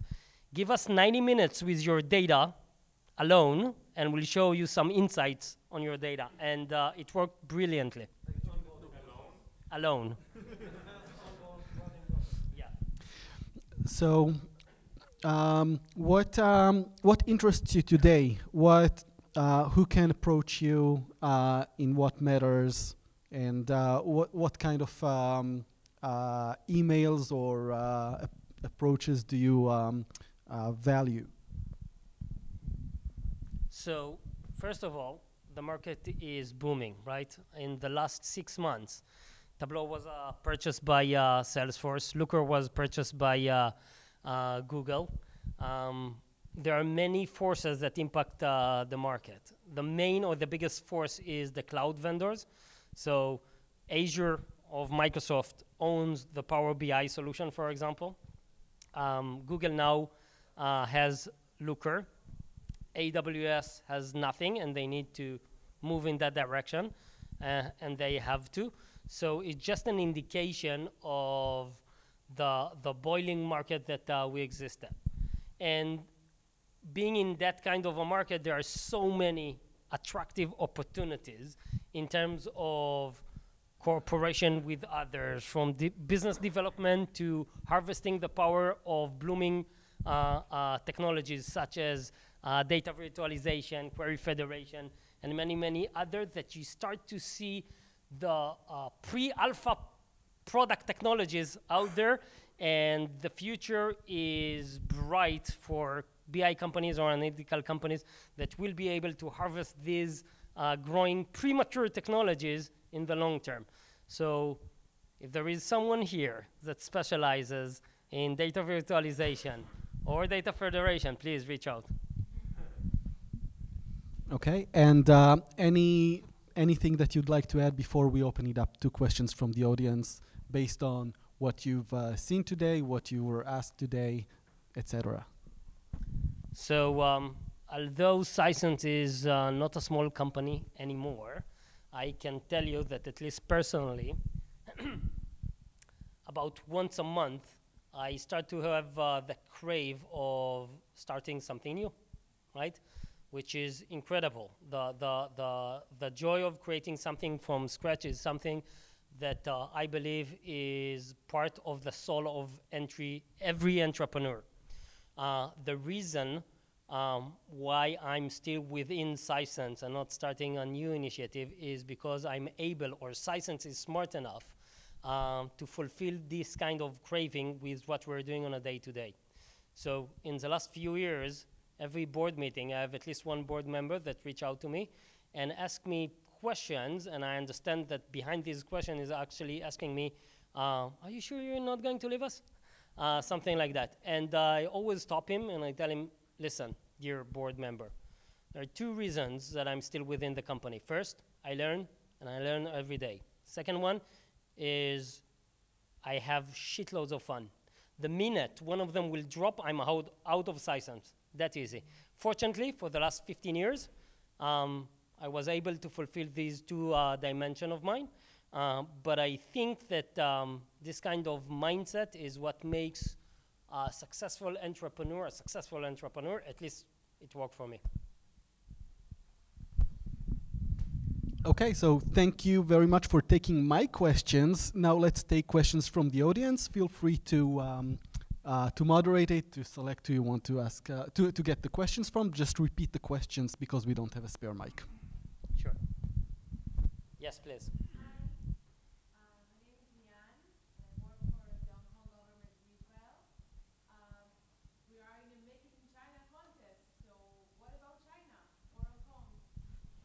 So, um, um, what's your name again? Lian. Asked about um, the China market or Hong Kong market. So unfortunately, and it's a, a, a big unfortunate, um, we are not doing very well in China. We actually tried that, and we had a few customers. Uh, we probably were not prepared or didn't know the know-how of how to do that, but it didn't work for us. Um, I believe that uh, much like Japan, that I think in, in many ways there are a few similarities in how you penetrate that market. Um, we could have done that in China, but we didn't. We probably uh, will do that again, and I'll explain what it is. Um, in Japan, we learned that uh, we cannot sell the product ourselves, at least at the beginning, uh, before we become a brand name. Um, the importance of building relationship with SIs, with system integrators and resellers in Japan, and building the ecosystem in Japan in order to penetrate that market is very, very important. This is something that when we tried to penetrate uh, China, we did not do. We did not have that arm, that muscle of ecosystem, and I believe it was one of uh, the main reasons why we did not have or experience huge success in China. It will happen one day, I'm sure. Yes, please. Um, when did you decide to move overseas to expand your uh, um, to expand your company? And uh, in a matter of customer, from day one, did you uh, go global or did you start only in Israel? So, the so the first, uh, first the question, um, what, uh, what made us uh, decide and when to uh, go overseas? And the first customers, what, uh, what are they, overseas or locally? So um, I can tell you that the first customers of Sisense were Israeli customers, not because they were real customers, but because they were real supporter of the company. So the first real customer of Sisense was Wix, because we know Avishai, and he's a dear friend of us, and he tried to help us a lot. This is something um, pretty unique to Israel uh, ecosystem. Uh, so I can advise you to try to use it as well. So we had uh, sister companies or um, mentor companies to Sisense that used our product, although it was shitty at the beginning. Um, and they tried very hard to help us and to guide us in the right direction. The real customer, the first real customer that we had was from London. He paid us $56 for perpetual license, just to give you a reference. Now the entry price of Sisense is 35K a year. He bought it for 58 bucks. Um, he's no longer a customer. He's been a customer of us for two years, and then I'm not sure what happened to him. We lost contact. Um, we aimed for North America at the beginning as because of few reasons the size of the market and the maturity of the market and uh, mostly around BI uh, or a lot of or because uh, of BI we focused all our efforts marketing go to market and um, we used inside sales techniques to penetrate that uh, market and it worked for us uh, quite well at some point when we understood we were able to build uh, somehow or somewhat repeatable process, sell, selling process, we understood that this is the time to go physically to the States and start an entity there. So we were about, I would say, a million dollar in recurring revenue, annual recurring revenue. About, I don't remember exactly, but then we understood that we know how to sell the product. We can sell the product at least to some extent, and uh, then we decided to move to the States. Yes, please. Given that you've been in the SaaS market and developing SaaS uh, for such a long period of time, can you tell us uh, what you believe makes for a successful software as a service company? So, um, what makes a, a, a successful SaaS company a successful SaaS company? Um, first of all, there are many, many shades of SaaS companies. I'll give you one complexity out of gazillion complexities that we have in Sisense. So, although uh, we operate in many ways as a SaaS company, um, many of our customers download our product and install it, which is not a typical SaaS company.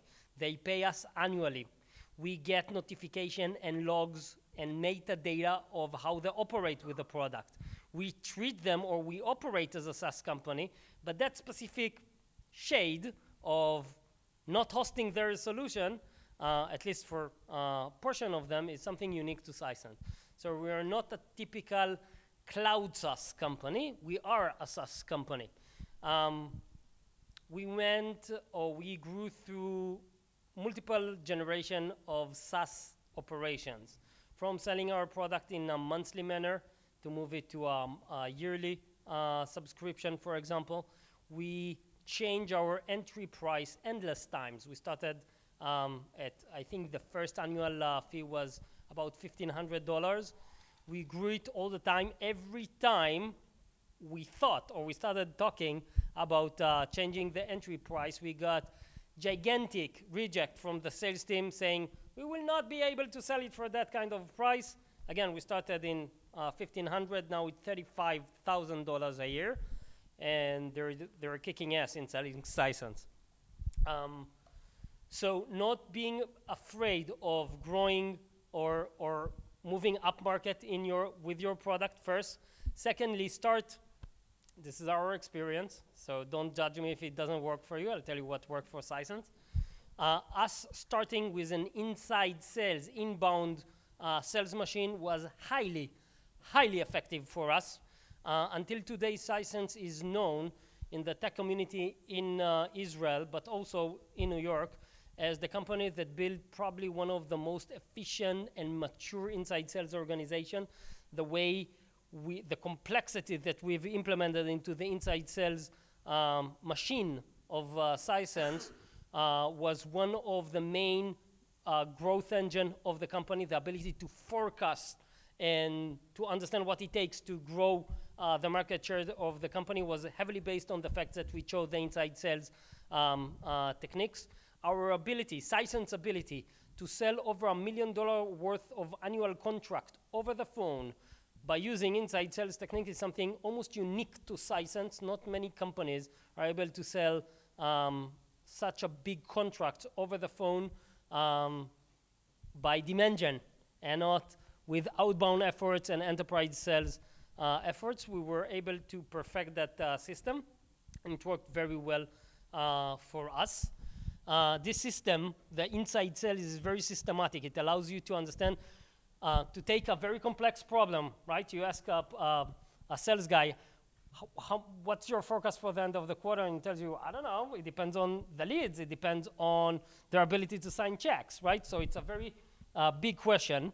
The inside sales allow him to break this question to, or this pro problem, sorry, to many smaller problems. Instead of how much money you're going to generate this quarter, you break it into lead generation department, how many leads you're going to generate this quarter to the SDRs or to the qualification department, how many qualified leads you're going to generate this uh, quarter. Uh, to the sales guy, you have two phases. How many opportunities you're going to create this quarter, pipeline, and then, only then, you ask them, out of that pipeline of the opportunities that you have, how much money you're going to generate. It's a much easier question, right? So for us, the inside sales model was very important or almost pivotal to our growth in the SaaS industry. Last question, please. Yes, please.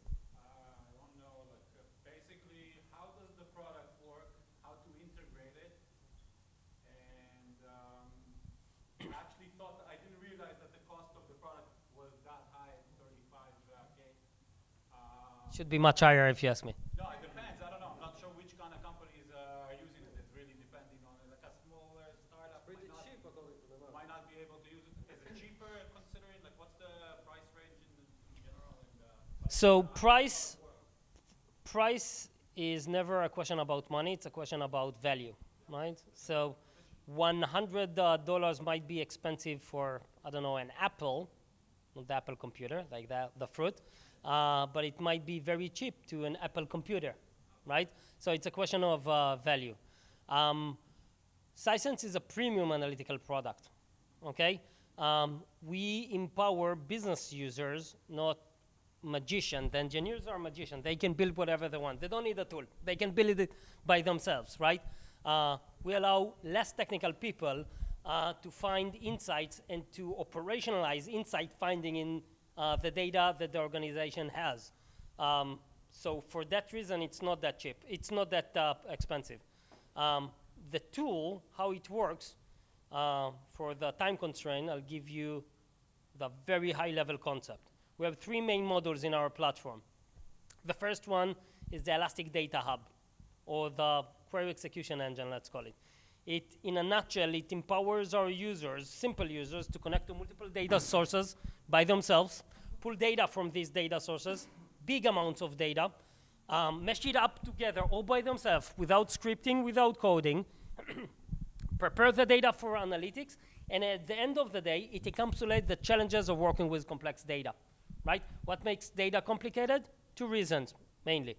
Big amounts of data, working with 500 million records, it's, it's complex, okay? Uh, there are textbooks, textbooks for DBAs, how to allow access for these amounts of data. With Sisense Elasticube, it's a no-brainer. Working with 500 million records is equivalent in the, in the complexity like working with 50 records.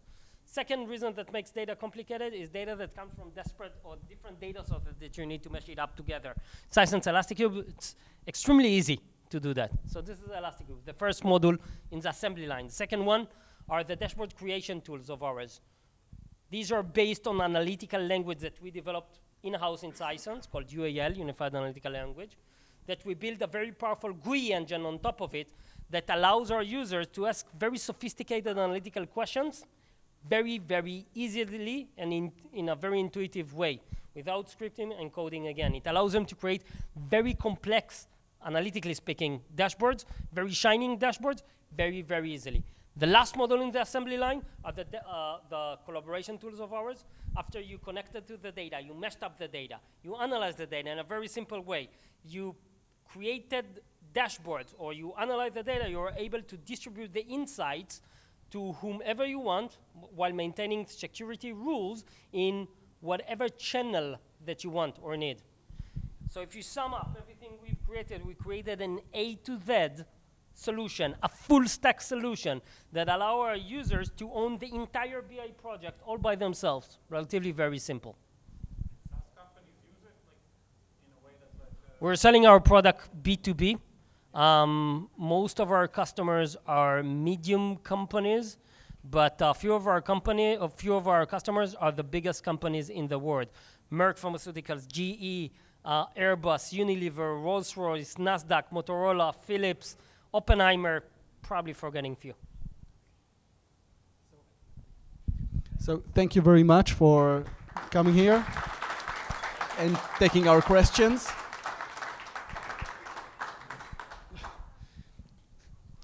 So let's uh, let's move to the next stage of the evening. Yep. One last thing, we are growing aggressively, aggressively. Please log into our website to the career page. There are a few, probably hundreds, open positions within the company. Please do not hesitate. Aviad, aggressively but nicely. Yeah. Thanks, Aviad. I really wish to thank you, Aviad. I think it was, Aviad, you were fascinating. You gave us great insight, really one of the greatest speakers. Thanks a lot for this. Now I wish to invite you all, all the judges, please come, please come to the stage so we can announce the winners.